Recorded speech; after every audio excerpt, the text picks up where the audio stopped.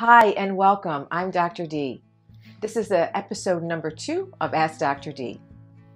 In today's episode, I'm going to be answering and discussing three questions. One, in a long distance relationship, how can you know when you're ready to live together?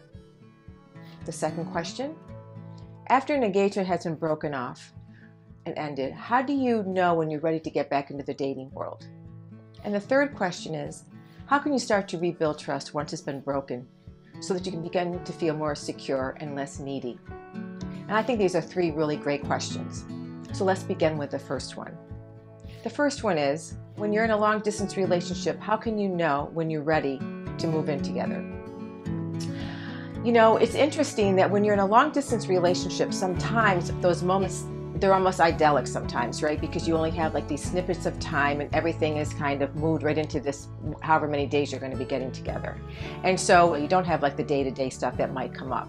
And so you reserve all of that, you kind of put that aside and you really embrace those handful of days that you're going to be together and it sounds wonderful. And it's during this time that people say, listen, you know, we've been in this long distance relationship for however long, and we're really thinking about maybe we should start to live together because to travel back and forth and trying to figure things out just is really starting to, to wane on people, right? So they start to think, should we, should we live together? And I think that there's some things to think about before you do that. First off, you want to think about are you being pushed to do it or do you really want to live with that person and you really want to live together? pushed meaning do you feel like, okay, I don't really want to travel anymore, maybe we should just do it? Sometimes people who especially in New York City when leases are going to be up or something like that they're like okay our lease is up let's just let's just live together to save some money. And so we have these outside external forces sometimes that maybe would rush or expedite this process. But the process really should be thought about. And so of course you want to think about are we being pushed or is it something that you really want to do? And so you have to think about like why now and why would we wait? And maybe why wouldn't we wait? And then before you move in together, you really want to have some of the more serious discussions, correct? For example, you know, what are your expectations of the relationship once you're once you're living together?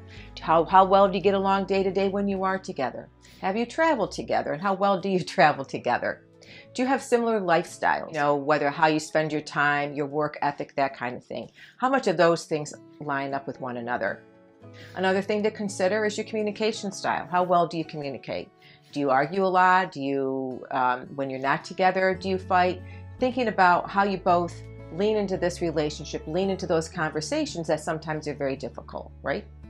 People should also be discussing before you move in together, you know, money situations and financial. How we can, how will we live together? How, you know, who will pay for what? How are we going to manage those finances? And so those are some of the more um, meaty kind of conversations you should be having and the and the and the conversation should be somewhat serious right because this is a huge step that both of you are taking and you're thinking okay is this really the right time and why now like i said in the beginning as opposed to say like another time so taking a step back and thinking about you know, have we had the harder talks? Have we talked about the finances? Can we travel together? Do we get along day to day? How do we see things in our lifestyle? What things are important to us? Um, where are we going to live and how often will we see our families if we're going to be living away from our families? And I think, and what's our communication style and can we communicate? And when things have come up, how we discuss them? Because once you start to live together, it's that day to day, and sometimes there's a lot of uh, extra pressures that come that when you're in a long distance relationship, you're not necessarily going to have. And so, for that person who wrote in, thank you, and I hope that helps. Let's go on to the next question.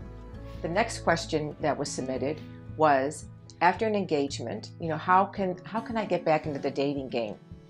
And I think that this is really a great question because first you have to remember or maybe you've already realized this is that when something when a relationship ends and and for this person they were engaged so they were probably together for a while and they had this whole process of being engaged and the, the breakup is you know it's like a death right it's like death isn't just when someone actually dies or like your pet dies. Death, the, the experiences of grief and, and the feelings of loss and loneliness come from the death of something. It could be, you know, the death of a dream, and in this case, the the the death of a dream of we're going to be together forever. We're going to have this kind of life, and we're going to have this kind of wedding. And we're going to be living wherever we're going to be living. And so people really grieve the loss of the future and even like the present day as well.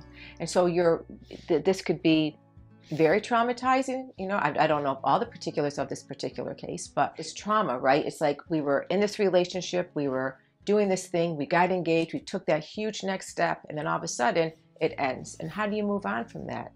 So I think that when people want to move on, it's, it's really about centering yourself first, correct? It's like, where are you? How long has it been? You know, oftentimes people do like a rebound relationship, which this has happened in this particular case, and then that one kind of crashed and burned, which is very, very, um, you know, it's very common because lots of people just don't want to be alone and they feel such a loss of that relationship they want to fill it with something else. And they think well i'm just going to go do this rebound relationship that that shouldn't be so bad. And oftentimes it doesn't really turn out to be that great. Now sometimes yes you're always going to have those people have a rebound relationship and that works out. By and large it really depends on the, the, the circumstances around this breakup, you know, how long it's been. So to help you get back into the dating game, you're going to be thinking about what were your takeaways in this relationship? What have you learned from this relationship? Have you started to work through your pain? Have you thought about the loss that you experienced from, from this from this relationship?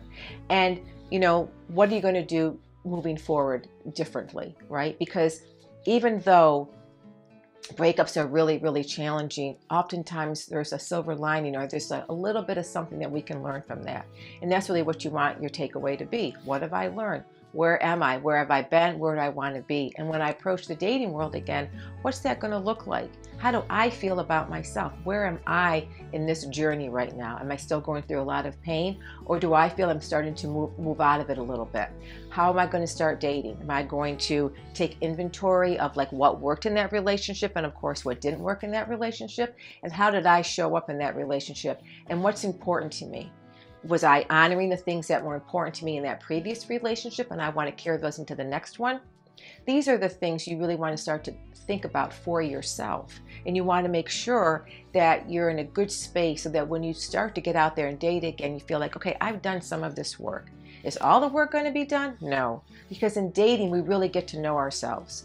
I mean, when we date, sure, we get to know other people, but we really get to know ourselves as well. And so I say, you know, go out, have some levity, you know, have a little fun with it. Don't take it overly serious. Really feel, figure out like where you are. Are you grounded? Do you feel good about, you know, so far going through this journey? Do you feel like you've given yourself enough time? And, you know, mindfulness, right? Mindfulness is kind of being in the moment, accepting how you feel without passing judgment. And when we get back in the dating game, we're going to be anxious, and that's okay. Just be mindful of that and accept it and say, I've been through something and I'm just getting back into the dating game and I'm going to expect myself to be a little anxious. I might be a little cautiously optimistic. I might be a little hesitant. But, you know, it's like thinking about where you are and taking a deep breath and, fe- and figuring out I feel like I'm in a good space and I'm, you know, really want to get back on the dating game. And I, have done some of the work and I know I have a little more work to do, but I'm going to slowly move myself into that new world. And thank you for submitting that question and good luck. The last question that was submitted was how to rebuild trust after it's been broken. Now, in this particular case, what happened was this person is with in a relationship and the boyfriend started to go on uh, social media and like a lot of other pictures, a lot of other posts by other men. And so the partner was really upset by this and expressed really i feel really uncomfortable. If you're going on you're liking all these guys or you're liking all these pictures and you're doing all these things it makes you feel really uncomfortable. So instead of the partner saying okay um, i hear what you're saying i'm, I don't, I'm not going to do that um, the partner blocked him and um, made his account like private or something like that or blocked something else so that the partner really couldn't see any more of his likes then the person said, okay, he really wanted to build back the trust and say, you know, what can I do? And then the partner who stepped out or was liking all these other people, these other guys said, you know, well, just give me like a list or something of things and we can discuss whatever's coming up for you for the month. Of course, this created a lot of uncertainty in the partner, correct? Because he obviously is kind of feeling needy or he's feeling insecure about the relationship and was trying to figure out like, what do I do? Do I just like let it go or, or what do I do in this situation? And I think the, the biggest takeaway in this situation situation is that this this guy really made it about himself when it really should have been about the partner. The partner was not doing anything to to to to build back trust or to build any trust. He broke the trust. He broke the trust by it's not just liking people on uh, social media or Instagram or whatever it was, correct? I mean, I understand that's one variable, but the other variable is that the partner said, "Please don't do that." And that makes me feel uncomfortable. Instead of honoring that and hearing what he had to say, he just he just blocked him. And so, how do you rebuild trust on that?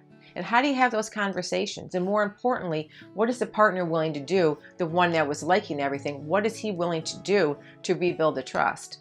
Because it's not that person's the the one partner's responsibility to rebuild the trust he's like okay so what kind of conversations or how do i bring this conversation up or you know do i say hey can we talk about something honestly the the the onus the responsibility really is on the person right who was liking all these different pictures and kept doing that and then blocked his partner even when his partner said it makes me feel really feel uncomfortable and this is really this really comes up a lot in other times in other relationships where the trust has been broken.